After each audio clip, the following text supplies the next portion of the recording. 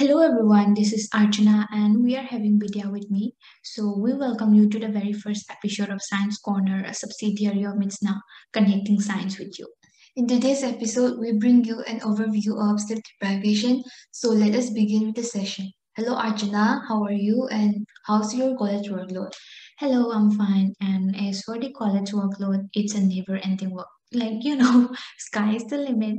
And also, I think I'm not productive at all these days. Like, also, I haven't had a good sleep since a long time. Then did you face insomnia these days? Uh, yeah, maybe insomnia, or maybe because I'm watching anime all night. See, you are sleep deprived and that's the main reason behind your less productivity. So first let's understand sleep. Okay, cool. Except for a few animals like bullfrogs and baby dolphins who can stay awake all the time and simply relax once in a while, sleep is a phenomenon common to almost all living beings. It simply implies the natural resting state of our body. Also, good sleep is not only essential for physical health and mental performance, but it is also crucial for our overall emotional well-being.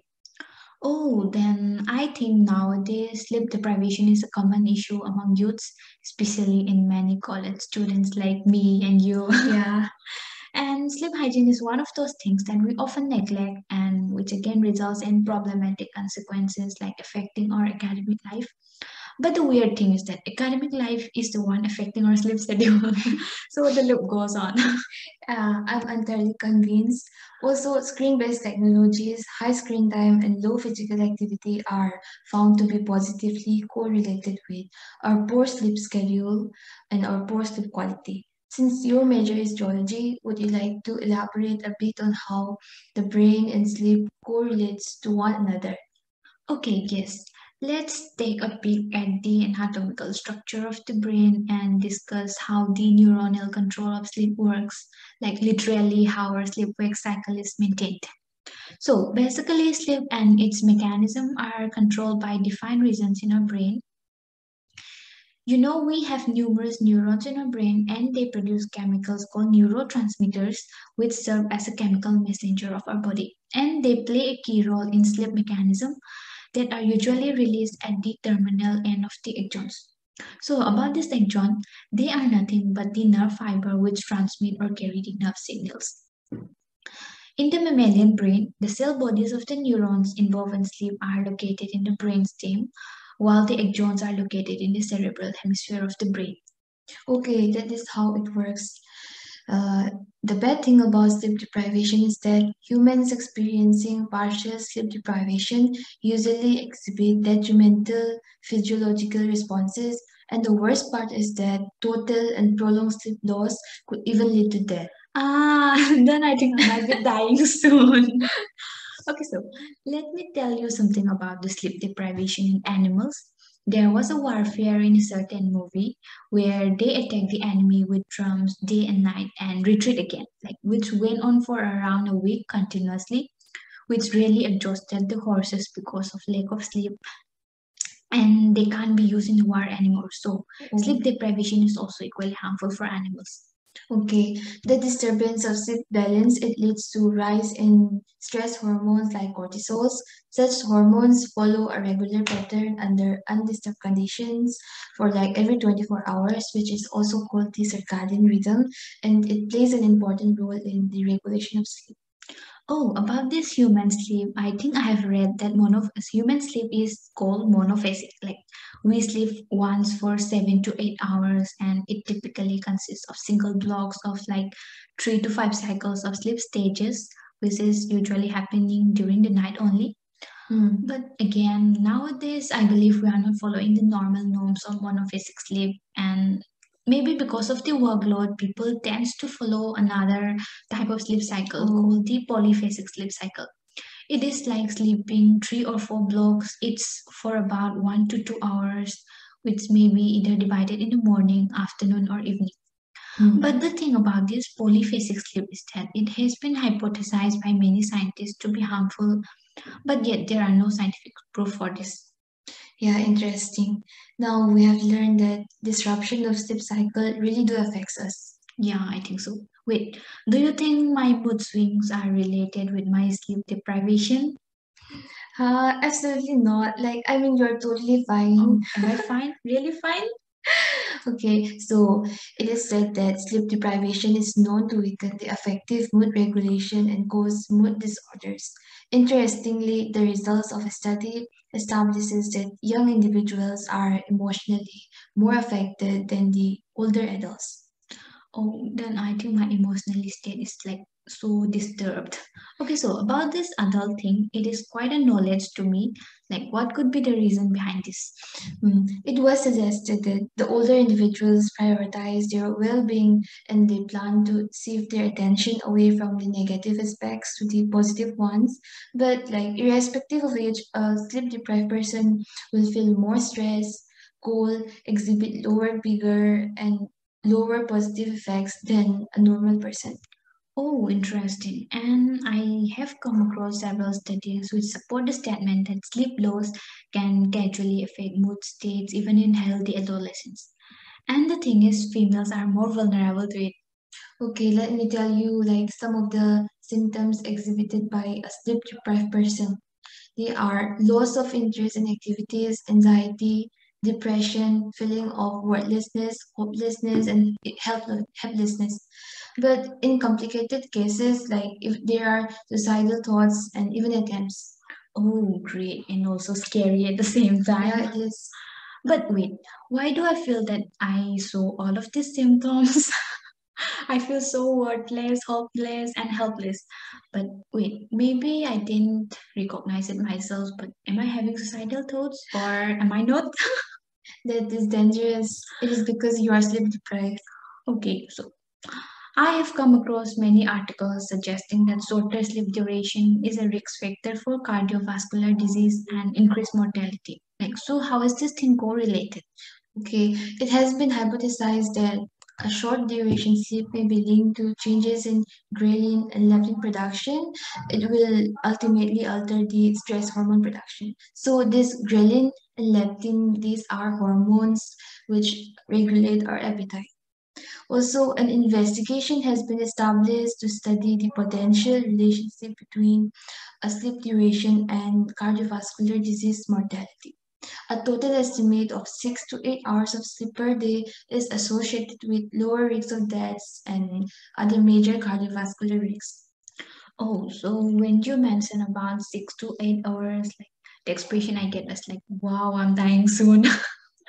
I think I sleep like four or five hours or maybe less. Ah, this session made me realize that my sleep cycle is like totally disturbed. Yeah, that's too less. I think I should try changing my sleep schedule, but only if I can. If I can. Okay, so let me tell you something. Like most of us consider napping as a safe and non-invasive intervention to counteract the negative effects of partial sleep deprivation. And also, I think most of us have heard about the power sleep, which suggest to take like short naps in the afternoon to boost our efficiency. But the thing is that a recent study suggested against this very notion of power sleep, saying that daytime napping is related to the increased risks of major cardiovascular events and even deaths to those with more than six hours of nighttime sleep, but not in those sleeping less than or equal to six hours of sleep per night. Mhm. Again, you see in humans, the adverse effects of prolonged sleep deprivation and insomnia can lead to disturbances in our emotional abilities. Sleep loss destabilizes the waking state, impairs our mental ability and behavior, and thereby affecting our social, financial, and other health-related issues to a great extent. Have you heard of this thing called recovery sleep? Uh, no, I haven't. So let me explain. There is this thing called recovery sleep, like where we try to recover the sleep loss by sleeping extra hours on the next day, Okay. but it still remains as a controversy if one or two nights of recovery sleep on the next day of totally sleep deprivation fully restores the brain and the cognitive function or not. Oh, I've heard of this that in humans it has been found that one or two nights of recovery sleep might be able to restore the cognitive performance and brain system to baseline levels, but neurobehavioral deficits, self monitoring abilities, and brain metabolic decreases after total or chronic sleep loss cannot be recovered by just one or two nights of recovery sleep. So basically, that means recovery sleep doesn't really help us.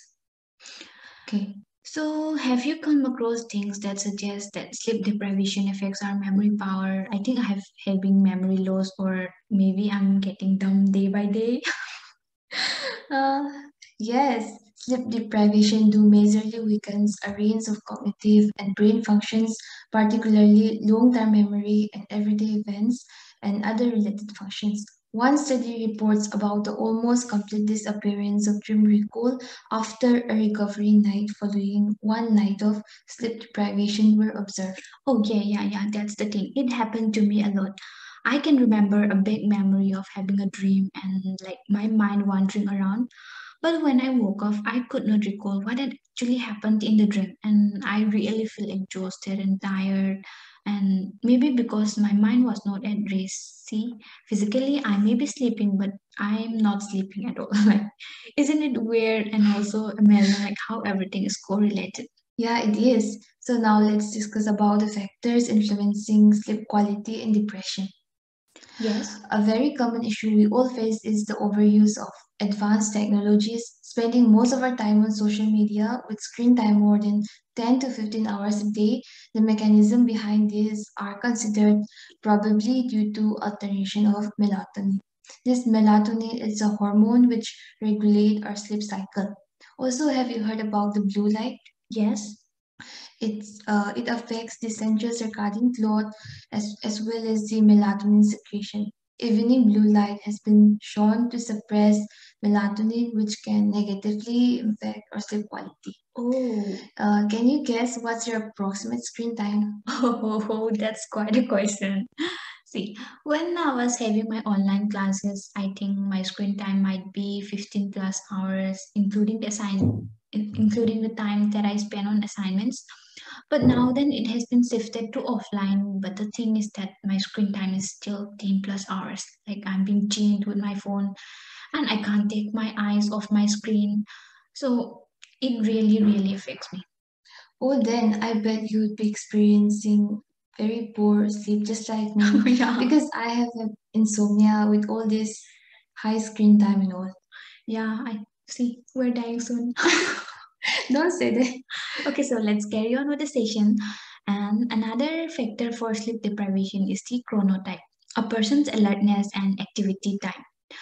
These circadian preferences may be classified as either morning times, intermediate times, or evening times, and they have an important role in connection between sleep and depression. Several studies settle that an evening chronotype is linked with poor sleep quality among young adults and college students. So, night owls out there, beware, take care. but I'm myself a night owl. So, one research conducted for several years suggests that morning time has a protective effect against the potential harm of poor sleep quality. But wait, wait, don't get too excited yet. it doesn't protect against the damage of lesser sleep quality. So don't ever think of compromising with your sleep time. Okay, but why does everything related with sleep deprivation revolving around our life? Because we are college students. yes, we are. Just think about how we eagerly wait for the weekends. Like, uh, one study suggests that students tend to sleep uh, like the way they sleep on the weeks, even on the weekends. However, other studies reported that students sleep significantly longer on the weekends, mainly females. Even I think it's very true because I sleep longer on the weekends. yeah, even me. I try to recover all the sleep loss on weekends only. so about this female thing, there is an interesting thing that females have been found to have higher risks of poor sleep quality. This may be associated with gender differences in sleep biology or socioeconomic pressures and cultural norms, and even coping mechanisms to life stress. One study revealed that poor sleep quality is related to depressive symptoms in males, but the thing is, it is related with stress in females. Okay, we have discussed about how and why sleep deprivation is harmful. Could you also suggest some ideas to cope with them? Yeah, sure. First thing I want to say is go outdoors. Exposure to natural light, sunlight, is important in regulating your circadian rhythm and rework your schedule. Give yourself a reasonably easy day after losing out on sleep. Bidya, would you like to tell them that exercise also really helps in coping with insomnia and sleep deprivation? Yes, it is very important. We know that you're exhausted, but see, getting some exercise into your schedule could be one of the best methods of dealing with lack of sleep. Yeah, and lastly, I suggest you all to reduce your screen time. See, believe me, it helps. It really, really helps. I once took a break from all social media for like straight two months, and it really helps. So, everyone out there who is facing sleep deprivation and insomnia, I suggest you to take a break from social media and spend some time of your own. Okay, here are some of our references. And now I think that we have pretty much covered everything now. And the sleep deprivation, how it affects us, and we should never compromise with our sleep quality. Okay, so guys, we'll be back together with another interesting topic. Do stay tuned with us. Also, we would love to see your suggestions, like which topic you want us to cover up for the next episode. Thank you. Thank you.